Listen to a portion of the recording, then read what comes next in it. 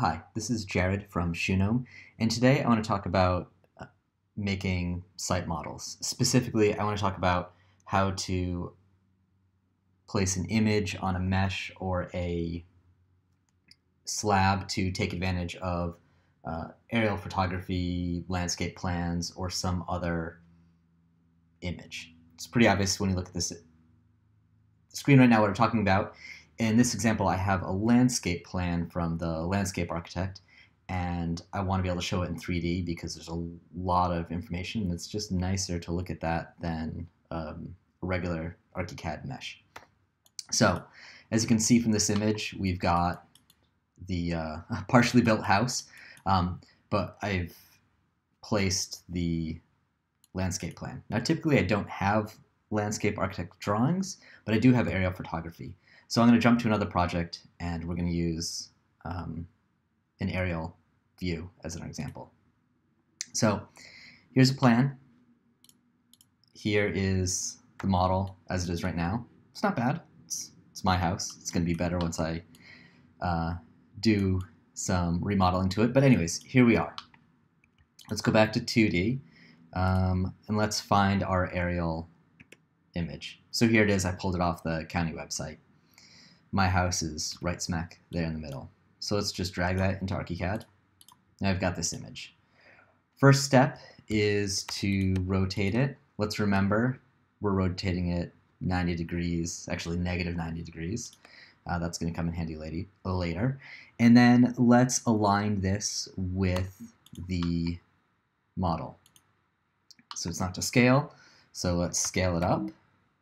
Uh, I'm doing Command K for scale, uh, grabbing something to scale up, and okay, that looks close. Now I know from doing this earlier today uh, that it's actually 210 feet. And in fact, um, if you're doing this, you might as well get it um, when you're scaling your image, make it a happy even number. Okay, so now what I'm doing is I'm just aligning the image to my model. That's pretty close. Um, there's something off with either the county's lot lines or mine. I think they're off. Okay, so there's our image. But it's not in 3D yet, right? It's just it's just there in plan. So the next thing we want to do is let's go ahead and create a morph. And let's make that morph the same exact size as our image.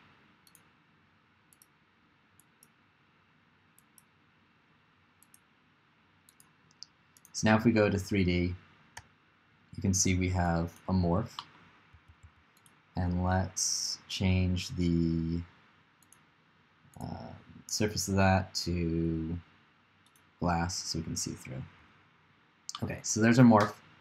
Now, the next thing we're going to do is we're going to set up our material. So let's go to surfaces. Sorry, not material. We're going to set up our surface. Let's find some landscape. Uh, landscape grass 3D. Let's go to new. And let's duplicate this and just call it site image.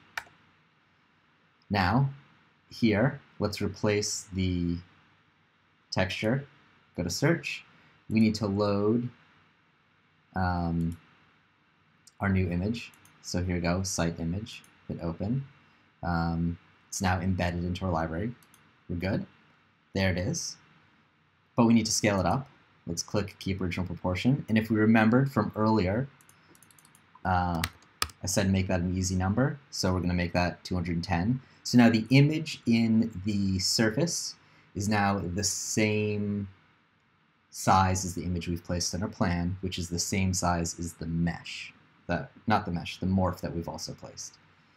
Uh, okay, so we've got that. Oh, let's go back and do one other thing.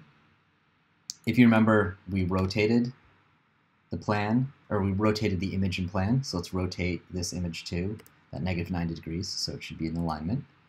Now, let's go back to 3D, and let's select our site mesh. And let's change the surface to site image. Okay, there it is. But you'll notice it's not in alignment and uh, something is wrong there. So let's go to Document, Creative Imaging, Align 3D Texture, and Set Origin. Now, one of these corners is the origin for that image, because if you remember, the image and plan is aligned with this mesh. So if we choose that, there we go. And you can see, I picked the right corner. You can see that tree right there. Let's go back to plan real quick. You can see the trees right there. So let's go back to plan, or back to 3D. Um, and now select this mesh. And this is where this is kind of cool. So we select the mesh. Now let's just extend the mesh.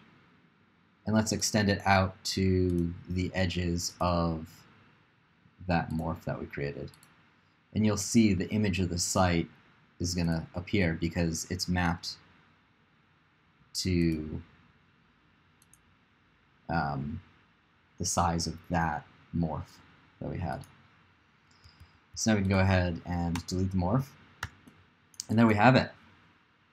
There is our building in alignment with whatever image it is, whether it's a hand-drawn site plan, whether it's a PDF, whether it's uh, like a PDF of a site plan or a PDF of some other document, or it's an aerial photograph. Uh, that's pretty rad. Now, something else we can do is if we, uh, you can see the shadows. There's the shadow of the building. That shadow doesn't match the image. So we can go to 3D projection settings, go to more sun, figure out when this uh, aerial was taken and set the images. I've looked at this and I can tell by the um, the way the trees are this tree hasn't leafed out yet and there's some other uh, flowering trees. That's probably, let's say, late April. And then I can tell by the shadows that it's probably, I don't know, early morning or late morning, so almost noon. Um, let's hit OK and see how close I was. Pretty, pretty close. So now you can see that there's my ArchiCAD shadow, and it's matching up with the shadows of the image. So I'm going to jump over to another file where I set this all up and uh, just show you some finished renderings because it looks pretty great. Um, let me also review my notes. Oh, there's one other important thing. Let's go to surface settings. We have the site image. Now that we have this all set up, we need to go to CineRender settings, and this is very important go to match set settings, update CineRender settings from internal. If we don't do that, when we go to um, render, it won't show the image. Okay, so now we've done that. So those are matched. Let's see. Am I forgetting anything else? We set the CineRender to match the internal. We aligned in plan. We attached it to the surface. I think we're good. Okay, so let's jump over to the finished image. So here, same thing, right?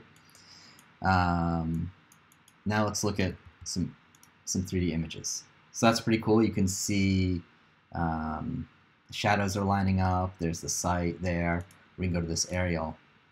Get the same thing. There's the 3D building. Here's all my neighbors' houses, just 2D uh, below.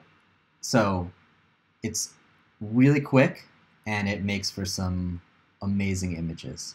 Um, let me know if you have any questions and have a good day.